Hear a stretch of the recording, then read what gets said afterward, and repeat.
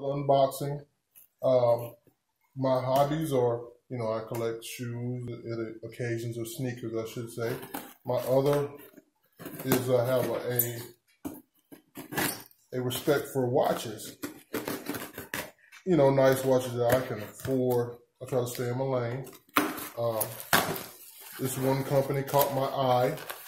Uh, they started about uh, six years ago. Rhyno timepieces, and they are fairly hard to get. So, with that said, I spent months searching around for a timepiece. So I came across one on eBay.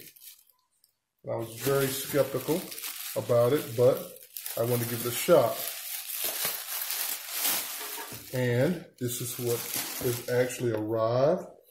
You can see Nice box, nice packaging. Very nice. Got this here. I'd like to point out that uh, I appreciate Rhyno timepieces. They are all numbered. It's usually only 300 of them, and they're made by veterans. So, nice box. All right, very nice.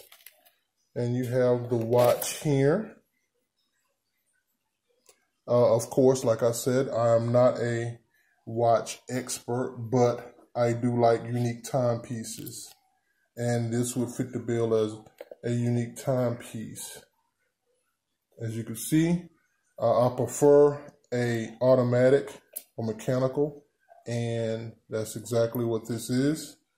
As you can see the, the numbering and detail there. Really nice. I was really waiting and looking forward to this timepiece.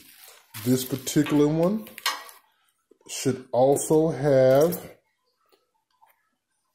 of course, a certificate authenticity here. And if you look inside, another watch band. So like I said, I'm going to be brief with this, but I am very satisfied, very happy with this uh, timepiece and if you have any questions, please ask them below and I will answer them as soon as I possibly can. Thank you. And you have a good one.